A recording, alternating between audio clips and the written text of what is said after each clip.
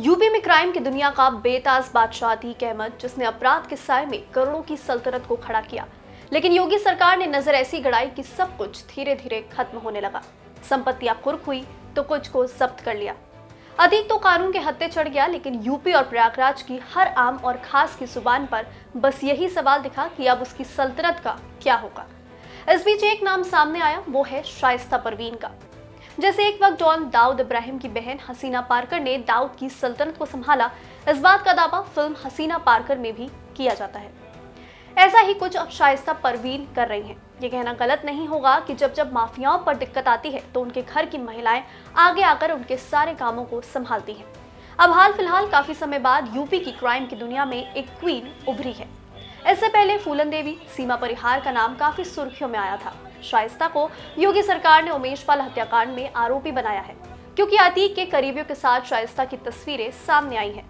देखा जाए तो ये कहना गलत नहीं होगा कि अतीक के बेटे असद को गैंग में आगे लाने के लिए शाइस्ता ने ये साजिश रची, जिसको लेकर प्रशासन ने नाम भी घोषित किया है। इसी मामले पर शाइस्ता ने प्रयागराज की एम पी एमएलए कोर्ट में अग्रिम जमानत की याचिका दाखिल की थी, जिसे कोर्ट ने खारिज कर दिया है। नमस्ते, मैं हूँ मानसी और आप हैं मंच पर। सियासत के गलियारों में अतीक अहमद की मौजूदगी में नकाब में प्रचार के लिए निकलने वाली शाइस्ता अब उसकी अपराध की विरासत भी संभाल रही हैं। पुलिस की जाँच में दावा किया गया कि अतीक के और अशरफ के जेल में होने के बाद शाइस्ता ने उमेश पाल से जुड़ी साजिश को अंजाम तक पहुँचाने में अहम भूमिका निभाई। घटना को जैसे अंजाम दिया गया, उससे पुलिस भी सख्ते में है।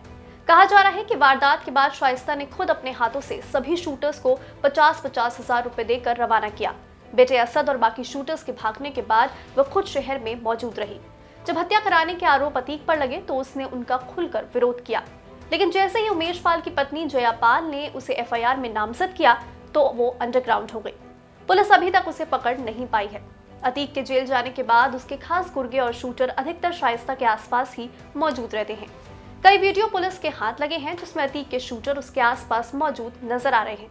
इनमें से ज़्यादातर वो शूटर हैं जो मेषपाल हत्याकांड में शामिल थे। अब जानते हैं शाइस्ता का सफरनामा। शाइस्ता ने ग्रेजुएशन तक पढ़ाई की। उसकी शुरुआती पढ़ाई प्रयागराज में हिम्मतगंज के किदवई गर्ल्स इंटर कॉलेज से हुई।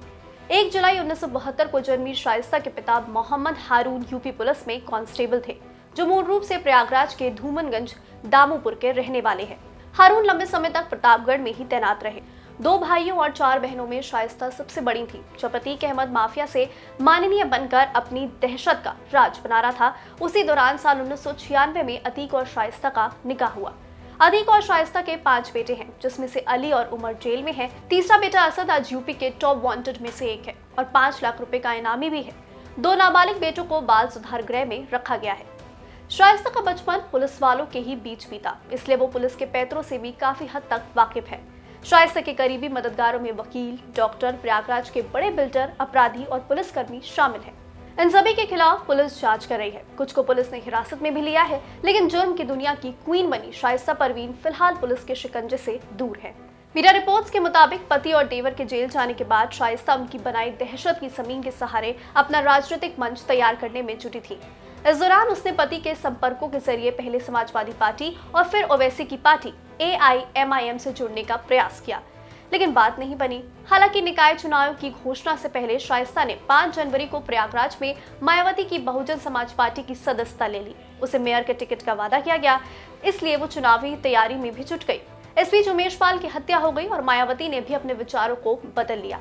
उन्हें बड़ा झटका देते हुए टिकट की दावेदारी से दूर कर दिया गया। पुलिस रिपोर्ट के मुताबिक अतीक और अशरफ के जेल जाने के बाद शाइस्ता ने उनके ज़मीन से जुड़े धंधे की बागडोर भी अपने हाथ में ले ली। कहाँ किसे कितना समझाना है, किसे रास्ते से हटाना है, ये उसे अच्छी तरह मालूम था। जमीनों से जुड़ी हत्याओं में भी पुलिस शाइस्ता की भूमिका की जाँच कर रही है। शाइस्ता को पकड़ने में पुलिस को इसलिए भी मुश्किलें आ रही हैं क्योंकि उसकी ज़्यादातर फ़ोटो नकाब में है। घर के लोगों और बहुत कम करीबियों ने ही उसके चेहरे को देखा है। पुलिस के पास उसके खुले चेहरे की जो एक आध फ़ोटो है, वो ज़्यादा साफ़ नहीं है।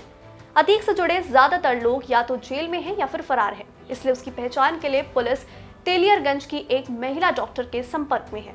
शाइस्ता को पुलिस कौशाम्बी, ग्रेटर नोएडा, मेरठ, दिल्ली, ओखला, मुंबई और पश्चिम बंगाल में खास तौर पर तलाश रही है। इन जगहों पर उसके छुपे होने की आशंका जताई जा रही है। लेकिन अभी तक पुलिस के हाथ खाली है। अब कब तक शाइस्ता गिरफ़्तार होती है, ये फ़िलहाल देखने वाली बात होगी। इस स्टोरी को आपके लिए तैयार किया है हमारे साथी मंचकार ऋषभ कांते ये स्टोरी आपको कैसी लगी कमेंट करके ज़रूर बताइएगा। साथ ही इस वीडियो को लाइक करें और हमारे चैनल को सब्सक्राइब करना ना भूलें। ऐसी और वीडियोस के नोटिफिकेशन को पाने के लिए बेल आइकन पर क्लिक ज़रूर करें।